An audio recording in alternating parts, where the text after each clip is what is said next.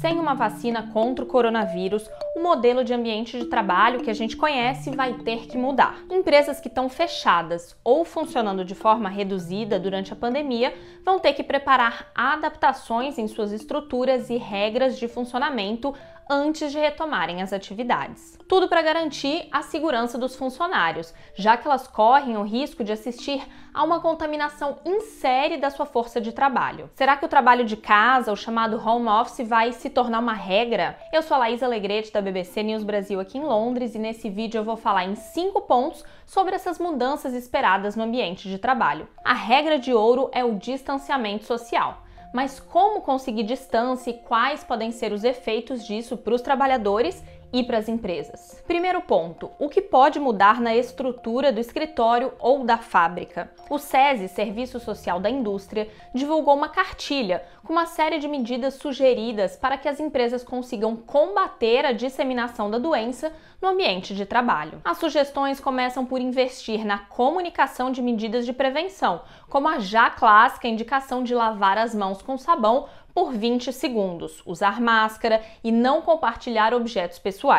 Também fala em reforçar a limpeza de locais que ficam mais expostos ao toque das mãos, como maçanetas de portas, braços de cadeiras, teclados, telefones e bancadas, e estimular a higienização frequente de objetos compartilhados, como ferramentas em alguns casos ou outros equipamentos. Outro ponto importante é aumentar a ventilação do ambiente com a instalação de filtros de ar-condicionado que contribuam para desinfetar o ambiente. Nesse quesito, outra recomendação é instalar barreiras físicas, como divisórias, cortinas de plástico, janelas, para proteger de secreções respiratórias de outras pessoas. Para reduzir a exposição dos funcionários no horário de pico do transporte, uma indicação que tem nessa cartilha é flexibilizar turnos e criar novos horários de trabalho ou dias alternados de trabalho. Nessa linha, Outra recomendação é substituir situações de contato presencial, como reuniões, por contato virtual,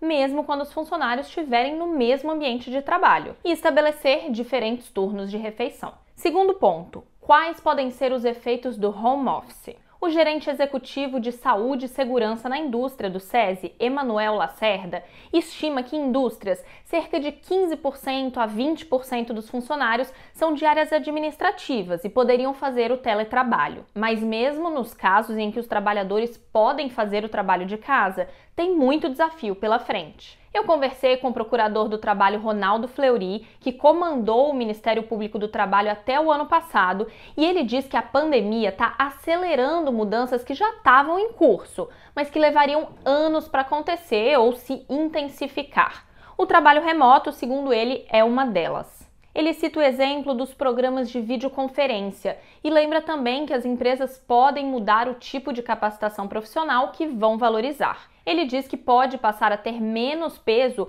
um mestrado ou doutorado e passar a ter mais importância a ideia de estar sempre fazendo pequenos cursos oferecidos pela empresa ou relacionados à sua área de atuação. Agora, segundo ele, os empregadores vão ficar mais preocupados em saber se você vai conseguir prestar o trabalho de forma remota, como a empresa precisa, o que inclui as próprias questões tecnológicas de realizar seu trabalho sem precisar de muito suporte técnico. Além disso, podem ficar nas mãos dos empregados os custos do trabalho, como equipamento, internet e estrutura para trabalhar. Ele diz que a tendência será, na hora que alguém se candidatar a uma vaga de teletrabalho, a empresa questionar o equipamento e até a internet que ela tem em casa. E isso pode se tornar um pré-requisito para o currículo ser analisado pelas empresas. Já imaginou? Bom, e quem já experimentou trabalhar em casa sabe que o home office também aumenta o desafio de conciliar a vida privada com a profissional. Por isso que os especialistas dizem que é fundamental tentar criar uma rotina. Terceiro ponto, como fica a relação entre os trabalhadores? O Ronaldo Fleury disse que um efeito esperado com a diminuição da interação entre os trabalhadores é menor empatia e solidariedade entre eles por falta de laços de amizade. Quer dizer, quem ficar trabalhando de casa vai perder aquela conversa com o colega da mesa ao lado, a hora do almoço ou do cafezinho.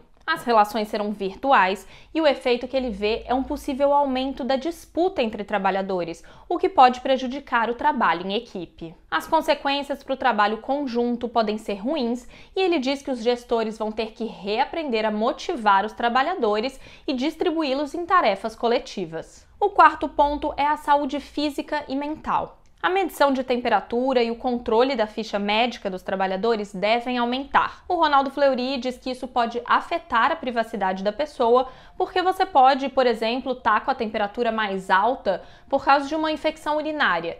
E ele diz que para provar que não tem uma doença que seja contagiosa, você vai ter que praticamente andar com um atestado médico na sua bolsa. E se uma vacina demorar a surgir, Outra preocupação que está no radar é se os empregadores passarão a perguntar se as pessoas já tiveram Covid-19 e se podem usar isso como um critério para contratação. No entanto, ainda não se sabe se uma pessoa pode pegar o coronavírus mais de uma vez. E é importante lembrar que o vírus também ainda não existe há tempo suficiente para a gente saber quanto tempo dura a imunidade. Ao mesmo tempo, um desafio que já crescia e foi acelerado pela pandemia é a saúde mental. E as dificuldades valem tanto para quem está tentando se adaptar a trabalhar em casa, quanto para quem tem que trabalhar em escritório e fábrica, por exemplo, ainda com medo de contrair o vírus e transmitir aos maridos, esposas, pais, filhos. Sobre suporte psicológico, a cartilha do SESI diz que a empresa não tem obrigação legal de fornecê-lo,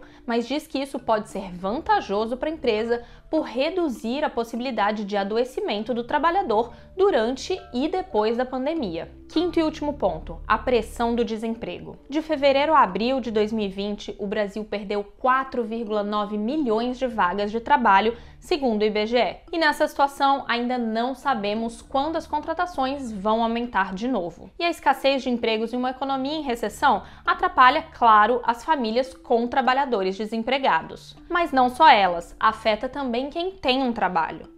O Ronaldo Fleury diz que a tendência será as pessoas trabalharem cada vez mais por menores ganhos e aceitarem qualquer tipo de trabalho. Bom, claro que é difícil abordar todas as mudanças em todas as áreas. Algumas características são pontuais de cada setor.